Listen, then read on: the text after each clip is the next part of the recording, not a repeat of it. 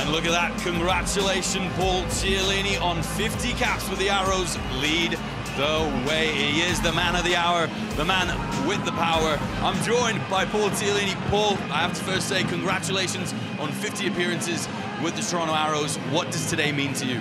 Uh, uh, words can't even describe a bit of a loss. I mean, came into the season knowing that I had to play every game to make the 50 and thought that would be quite a stretch, but here we are and got to do it in front of all my friends and family at home and I, yeah, lost for words. It's amazing, wonderful feeling.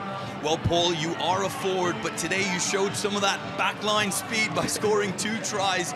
Were you a little bit disappointed not to get that third? Oh, so close. It just, uh, I mean, it wasn't expected to come back on, but hey, I got another crack to get it, and unfortunately didn't go my way, but I'll take two. well, I'm sure this will be two of many yet to come. But Paul, unfortunately, you guys weren't able to get the win, but what is your thought process on the entire season so far? Obviously, this is the first season back from COVID. What do you make of it all so far? Uh, just, I mean, back here in Canada, we've had some more uh, uh, troubles with uh, restrictions, that stuff at the start of the season, but all the boys really rallied uh, around one another and, and, you know, made it very player focused how we want to well, run this season.